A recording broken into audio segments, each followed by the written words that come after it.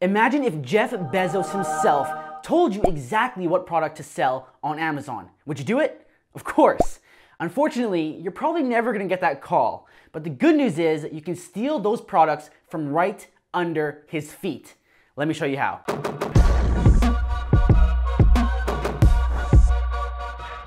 What's up, Empire Builders? JT Franco here. I hope you're having a great day, but if you're not, it's about to get a whole lot better because this very product research method could be the one that finds you your first or your next highly profitable Amazon FBA product. But I must warn you, this is very much unconventional. It's going against all conventional wisdom and flipping it on its head. By every definition, this is crazy. it's one of those ideas, in fact, that is it's just so crazy. But it just might work. What? What we're about to do is dangerous. It's against the grain. We're about to sneak into the king's castle and steal his treasures while he sleeps. So let's get ready for war. All right, we're good to go. So, have you heard of Amazon Basics? Of course you have right? If you don't know, this Amazon Basics is Amazon's own, pretty much their own private label brand. So they find, they do exactly what we do, right? As FBA sellers, they're finding hot products and they're slapping their own logo on it and selling it on Amazon.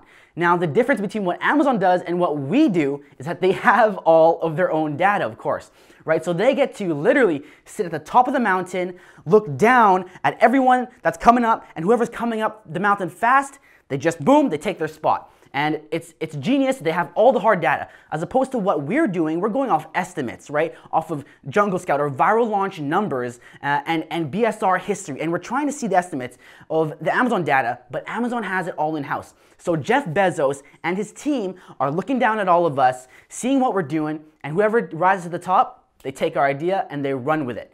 Now, most sellers would say that's a danger zone. Don't compete against Amazon, right? If you see an Amazon Basics product, run far away because you're competing against the head honcho. However, Amazon Basics is a lot like a lot of the other Uh, you know, in-house brands. Like if you go to Walmart, they have great value, right? And the thing about Amazon Basics and the thing about great value is that they're literally trying to sell the cheapest product because they can, right? They can see what we're doing and they can always beat our margins every single day, no matter what. So they're gonna come down and be the cheapest. Now the thing about that is that even though I go to Walmart and, I, and, and they have great value toilet paper, I'm still gonna walk out with Charmin because I want quality. And that's the thing that people don't realize about Amazon Basics. It's that when Amazon launches a product, unlike us, when we put our blood, sweat, and tears into a product and it's we're passionate about it, Amazon doesn't do that. They do not care. Whether a product makes a million, two million, if a product on Amazon Basic is making $15 million a month, it's still a tiny, tiny drop in the bucket for the Amazon machine. So there is no care put into their listings. They're not going to optimize their listings. They're not going to have the best pictures, have lifestyle photos, have the best sales, have the best copy, have the best bullet points. You know what I mean? They're not going to go all in. They're just basing it off the numbers. They have a super algorithm and they're basing it off the numbers. Now, there's two reasons why that's good. Number one, the super algorithm is a super goddamn algorithm, right? So we don't have to do the dirty work, okay?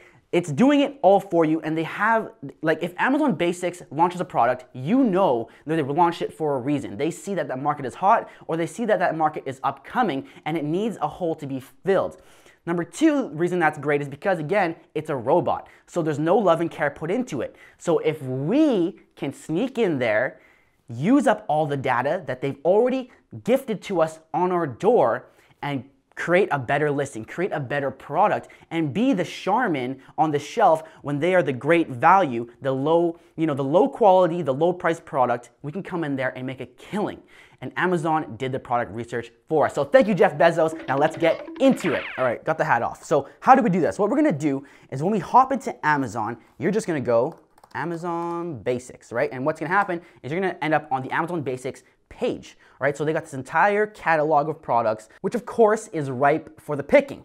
Now, before we get into this, actually, I just want to let you know that this is just one of the many product research methods that you can use to find profitable products. If you want more product research method to soak it all in, then go ahead and download my product discovery guide in the first link in the description. Uh, I usually sell that for $30, but right now I'm giving away for free along with two of my other top ebooks. First link in the description, all three books are yours for free. Now, what you want to do when we get into this Amazon Basics page uh, is just go ahead and pick a category. So let's go with sports and fitness, right? Now, The thing is, Amazon Basics does kill it with a lot of products. So you definitely don't want to uh, go ahead and test the waters there. So how do you find out which products um, you might want to launch? What you want to do, like I said, they're not putting any love into these products. So a lot of these products that they launch will have bad reviews, and that's the ones you want to be looking for. So go into the sort here and sort by average customer review. And then you're gonna go to the very, very last page and get the ones with the worst reviews. This means um, if they have bad reviews, it means that for some reason Amazon figured out that this would be a good product to sell, but they just did not execute on the product. So they're like, hey everyone, sell this product because we can't do it properly. That's pretty much what they're saying. So go ahead, this one has literally three reviews and it's two and a half stars. Um, actually, go ahead and pull up a new tab. All right, so once you got your second tab open, just uh, search the name. So portable soccer goal. Let's just call it portable soccer goal and see what happens. So portable soccer goal, and you're gonna need um, either Jungle Scout or Viral Launch. I prefer Viral Launch, um, so I'll pull the Viral Launch drop down, but since I know a lot of you also use Jungle Scout, I'll pull the Jungle Scout drop down as well uh, because I wanna accommodate all of you guys so that you can see what you're doing and you have a better idea based on whatever tools you use. All right, so the first thing you'll notice when you pull the drop down is you'll see the exact search volume. So it only has 585 exact searches for this keyword portable soccer goal, which tells me that it's probably not the main keyword because it's only 500 people searching for that a month. So I'm gonna put that into the uh, keyword research tool. And what's gonna do is gonna show me the, um, the real keyword that has the most uh, searches. So soccer goal for backyard. So 11,000 uh, exact searches for that. That's pretty, on, that's, that's on the low side. Uh, but let's go ahead and, and grab that because that's gonna be the main keyword for this product. So I'm gonna search that and I'm gonna take this off because it's getting really freaking hot. All right, so here's the Jungle Scout look. Uh, as you can see, it is super competitive, so you do not want to get into here. Uh, yeah, the reviews uh, are crazy. So the barrier to entry here is going to be pretty insane. You can see it says high demand, high competition. Um, yeah, another thing about the product is that it seems pretty huge, uh, so the packing it up and everything might be a little tough. And that might be the Amazon Basics advantage here, is that they can easily uh, ship and store these giant heavy items. So let's keep on going through here. Um, and let's see what we got. So let's go back one page. So the reviews here don't aren't that low. I've seen some that are pretty low. Um, so what I'll do is just look for something that looks interesting. So like this, Amazon Basics rubber horseshoe set. Like, who would think of that? So let's go look up rubber horseshoe horseshoe set. So the number one keyword is horseshoes, um, but that, again, it's only 3,300. Uh, wouldn't be too excited. All right, so again, not very exciting. Uh, not much going on here. Everyone's doing like around five sales a day, so I probably would stay away from this. Um, so let's actually get out of sports and let's try a different uh, Amazon Basics area. All right, we're back on the first page, so now we just gotta pick uh, what we wanna attack next. So let's go with tools and home improvement. And same thing, search by uh, customer reviews and go to the last page first. The reviews here, you'll see if you go to the very bottom, they're probably pretty bad or they don't have any reviews like this. That's like really bad reviews, like two stars, right? So you can see exactly what I mean when I say they just said probably, hey, wall-mounted suction shower cup thing, whatever that is, is doing great. Let's launch it, and they made a really crappy product. Now I wouldn't go, click into this because only eight dollars, so I'm assuming that's what the you know the range is, eight to twelve bucks. So you want definitely want to get something a little more. All right, let's try the first one here. Let's go with kitchen. Um, and let's go to oh, let's actually go to the most broadest, the broadest department possible, home and kitchen and let them search with reviews so that way we get more, um, more products on the page. All right, we're on the last page and you can see there's overlap with that, that, that uh, mirror thing that we saw. Uh, so let's go to page 14. Again, this is real life product research, guys. This is what it's gonna look like. Um, you're really going through it, you're going through the grind, and you're just trying to pick stuff out, right? Um, so let's go with two reviews total. Amazon Basics um, document frames. So Viral says that diploma frame is what we're gonna be needing to looking for. So let's go ahead and change that search to diploma frame. And there you go, we got a seven opportunity score with Jungle Scout. And let's go check out what the numbers look like. So the reviews, as you come down, the revenue, so you remember it only had 12,000 searches per month, so it's kind of mid-range, right? So let's look at these numbers. We got 50 reviews, 10,000, right? we got this guy who's killing it, obviously. 21 reviews, 17,000. 45 reviews, 9,000. And it comes down to how deep is this market? Where can we really play in here? 50 reviews, 10,000. So let's sort by reviews and let's really get a good idea of this. All right, so as you can see, the top guys only have up to like 177.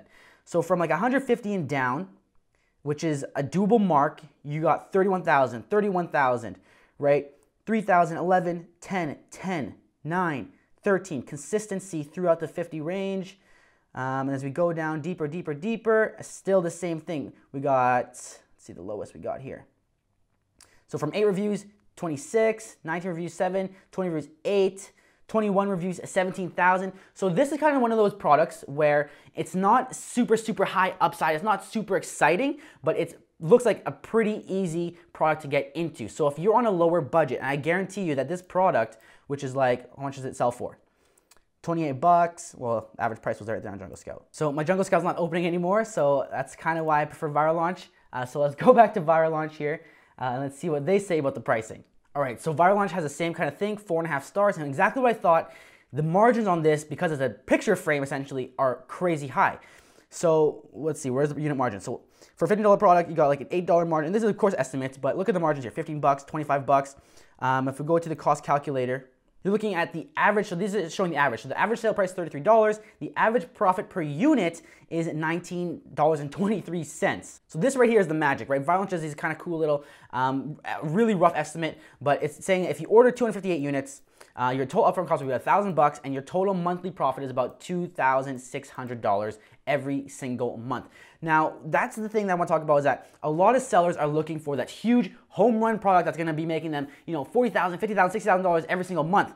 But when you come in here and hit these products that all the time are making 2,000 a month, 2,000 a month, and you just add to that portfolio, right? So you launch this product, and it only costs you a thousand bucks to launch, and you launch another product for a thousand bucks, another product for a thousand bucks. That's 3,000 bucks in, and you're making $9,000 profit every single month by just hitting, not not going for the home runs, but going for those singles or those doubles, the ones that are kind of under the radar, things that are easy entry, barrier to entry, right? Because you, the thing you don't, they don't tell you about launching a product that might make you $50,000 a month that has that super high upside is that it also has a super high cost to enter that market. So uh, what we're gonna do now is I'm gonna show you exactly what to do next because usually product research videos end at this. So I'm gonna show you, okay, you found this product, you wanna you know, consider it. I would go to FBA calculator, but we're just gonna use the viral launch one for now. Just go to Alibaba, right? So now the reason I wanna show you Alibaba is because a lot of people fear this part of the process, right? Product research is fine and fun because you're just on Amazon, but when you start sending messages to suppliers, it feels so serious, it feels so scary, right? So let's go ahead and go to Alibaba. I'll show you how easy this is. So we'll go um, diploma frame, right? Not that hard.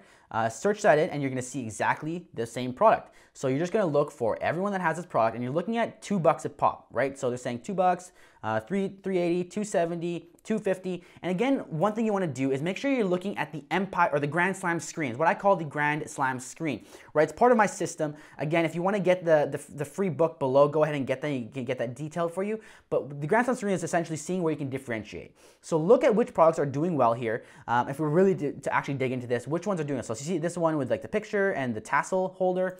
I guess we saw that here with Alibaba. We got the picture. Uh, and the tassel holder, the same exact product, right? That is that product. So is this the one that does the best, right? Which one really does the best? And where can you make a difference, right? Where can you make it a grand slam where you can stand out and, and differentiate? It doesn't have to always be crazy, but I just wanted to mention that. So what you're gonna do when you're on Alibaba is just go ahead and the cool thing that you can do, you don't have to always send a super detailed script. Now, I do offer a supplier script, uh, but it doesn't always have to be that way. Sometimes when you just want to touch base, you can just use this chat box, right? So go ahead and click the chat now. It's just like Facebook Messenger. So when you're in here, this is gonna auto-populate. You send it off so they know exactly what product you're talking about and just be like, hi, thanks. Fix the typo and press Control A, copy, Control C, copy, send that off, okay? Super simple. So now they're gonna get back to me when they have a free moment, and we're just gonna bomb through here, click the chat on every single one, send the baby off, control V to paste, and just rip through it, right? So this is exactly how you contact suppliers. So there you go. Simple as that. They already got back to me, right? Dear, what can I do for you? Um, please send me a quote for 500 units. That's already one supplier down. It's not this crazy, uh, you know, level of freaking um, professionality that you have to, to, to put off. Just, just make it simple, right? Make it simple because guess what, guys? Done is better than perfect. A lot of people put so much effort in typing this super crazy, long ass letter to these suppliers. And the thing you gotta realize about suppliers is that they get a, like a, a thousand people a day just like tire kickers looking at their products and asking for quotes and, and asking this and asking that. And they think, and the supplier's mindset, right? You gotta put yourself in the shoes of the supplier. They are thinking that you are probably not gonna place an order. You are probably someone that's a tire kicker, 90% of the conversation they have end in nothing. So when you're sending out these long uh, form messages and asking like bullet point questions, asking 10 questions about their product, What's their incentive to get back to you when they think you're a small timer, when they, they have no relationship with you, you've built no relationship with them, you've made no effort to do that, you've just come up and tried to approach them like you're this big corporation, um, and it's, it's off putting to them because why are they gonna waste your time answering all your questions when they answer a million questions a day that never lead to an order? So just go ahead, reach out to them, make it simple, get it done. Because at the end of the day, progress is progress. It's not about being perfect, it's about reaching out and, and seeing what you can do because really, we're not really again, we are tire kickers right now, right? So don't try to waste their time. Don't waste your time, more importantly. Just be a tire kicker. Try to get a quote. See if this product's gonna work for you. See if this product's gonna work in your budget. Because right now we're just trying to see the pricing so we can put it into the calculator, see if they can quote us on shipping so we can put that into the calculator and get a more accurate calculator cost, right? So again, we're just gonna keep on going through here and just bombing through, no big deal, send it off and just go on with your day. Because a lot of people get stuck in product research because of you know, analysis paralysis, getting afraid of, of doing the dirty work. All right, so we got, this guy got back to me, right? Hi, glad to get your message. Do you have Skype, WeChat, or WhatsApp um, for chatting? So there you go, right off the bat, we're making a contact. Next guy, got back to me, your email, asking for an email. So we're advancing the conversation, right? This one, another one got back to me, hi, thanks for your inquiry, and I'm asking for a quote. So this is how you get the conversation started, guys. That's simple as that. And I want to show you that because I know it's that will break a barrier for a lot of you. Because a lot of people get stuck, right? They're like, oh my gosh, it looks so cool. Um, now what do I do? Right? Now I go to Alibaba. What do I say? How do I make contact? How do I, how do I this, how do that? Just boom, get it done. And that's that. So that is exactly how you are gonna steal products from Amazon themselves, go against the grain because those that go against the grain, those that color outside the lines are the ones that color the world. So be one of those people. Don't be afraid to go against conventional wisdom. When everyone else is running away from Amazon basics, you run right into the fire and take the gold from them. So again, if you want more product research methods just like this, and if you want to learn about how to brand and how to launch your products, I got the three books available to you. That's usually a $90 value, $30 each, but again, totally free right now. And when you get those books, you have a chance to enter my four-day Amazon FBA bootcamp, where I will kick your butt into shape to be able to launch a successful Amazon uh, brand within the next four days when that bootcamp begins. And if you don't want any of that, just go ahead and click right over there to watch another product research video or click my face right in the middle to become an empire builder. An empire builder is every single one of you that grinds day in and day out. But most importantly, you never give up because you know that your empire awaits. I'm JT Franco, and I'll see you in the next one.